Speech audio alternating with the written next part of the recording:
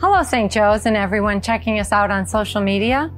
I'm Sharon Lentino, Secretary of St. Joseph Catholic School and a parishioner for 26 years. We are now in week five of our theme Grow. This series is about growing in maturity as followers of Jesus, taking our identity as Jesus' followers to the next level.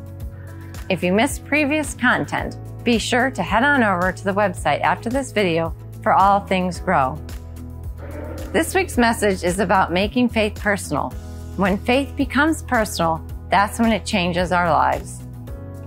In the first reading this past weekend, we heard about a man who is an outsider.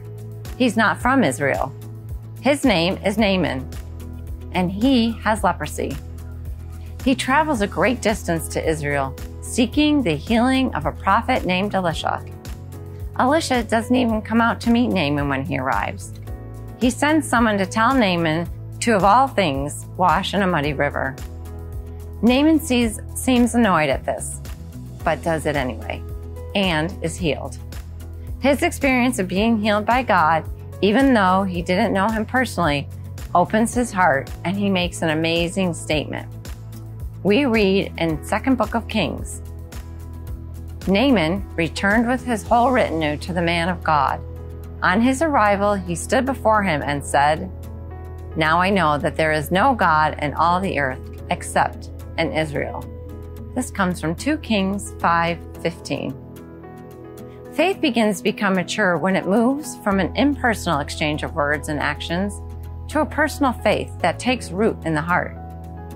The circumstances that led to Naaman's faith were twofold. First, they came from a place of weakness and vulnerability. Naaman needed healing, and his need for help was unmistakable. He recognized that without God's healing and help, he was done for. The second important ingredient of the story is that he surrendered his will. He had ideas about how God would heal him, but his ways were not God's ways.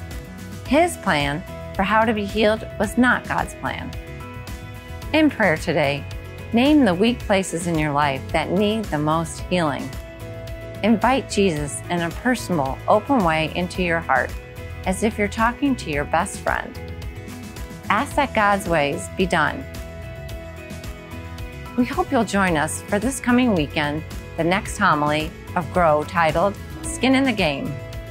Join us to find out about sacrifice and commitment in faith, even when it's hard.